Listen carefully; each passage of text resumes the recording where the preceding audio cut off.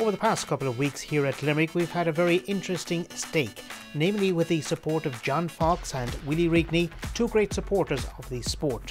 We have tonight the final of it, namely the Time Greyhound Nutrition Graders Derby final. And what a wonderful final it promises to be. We have two very serious contenders, it would appear, namely Trap 2, Katunda's Sid for Scott Phelan trainer, and number 5, Avangate Playboy, trained by Rory Hickey. Both clocked very good semi final wins. The runners are with us now in the parade area. The number one is Fantasy Tuppence in the red jacket, trained by Albert Mullins for the Top Benefit Syndicate. Next up in the blue is Katunda Sid, owned by Michael Byrne of Dublin and trained for him by Scott Phelan. Now on to three, and that's Proud Mercurial. It's owned by Michael Mead and trained by Michael also. Second last time out, Moving on to the black jacket of Headley's Susie, owned and trained by Nick Cotter of Knocknagoshel in Kerry. And so to five, Avangate Playboy. It won in 28.93, its semi final last weekend. It's trained in Ballyragget by Rory Hickey.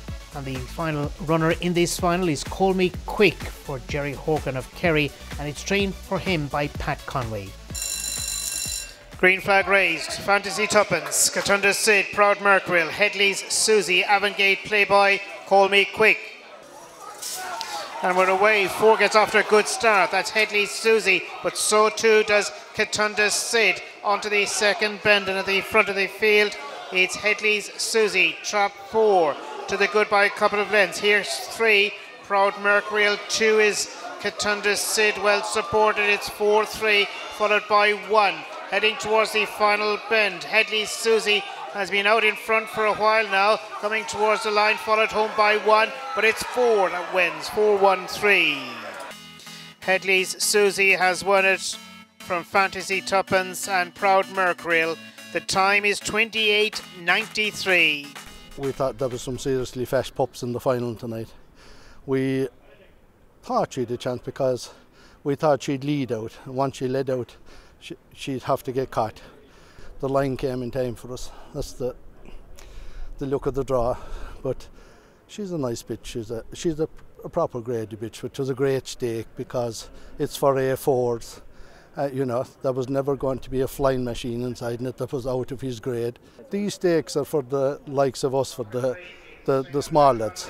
You know, they're fabulous stakes. You know, we, we, we have we, we, we have seven or eight or ten dogs graded dogs. We run dogs in Tralee in Limerick, and you know it's it's it's for the likes of us these stakes, and the more the merrier because they're fabulous stakes. Not just because we won it. If we, you know, we we got money out of it if we were coming last tonight, which makes it a fabulous stake out of it. Great to see the grassroots uh, man getting a, a pot, and we at Time are delighted to have supported such a novel idea in conjunction with GRI. Uh, all these dogs have got a nice few pound and uh, good genuine A4 dogs, which gets and the, the, terms and conditions of the stake meant that the, that ordinary guy, that, that God salt earth uh, greyhound man, got a chance of a proper pot, and I would like to support any of these novel ideas at time, you know. I said initially when GRI uh, brought up the, the idea, I was, I was light with the idea of it, and uh, it's very very important. I think you know we, we do top sponsorship, and a lot of companies do good sponsorship, but let's not forget it's the grassroots man keeps the whole thing going. They're the feeders, they're the people that bring through the dogs, nurturing from from uh, puppy to, to racing. And uh, the top ones come through and they get lots of recognition. So it's nice to recognise all those people on the ground. And uh, long, long may it last. And while there's ideas like this, we're, we're, we're uh, delighted to support it.